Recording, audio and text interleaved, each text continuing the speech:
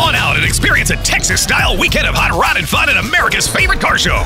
It's the Goodguys 28 Summit Racing Lone Star Nationals, featuring a tire smoke and burnout competition, Nitro Thunderfest, a huge swap meet, and so much more. September 24th through the 26th at Texas Motor Speedway.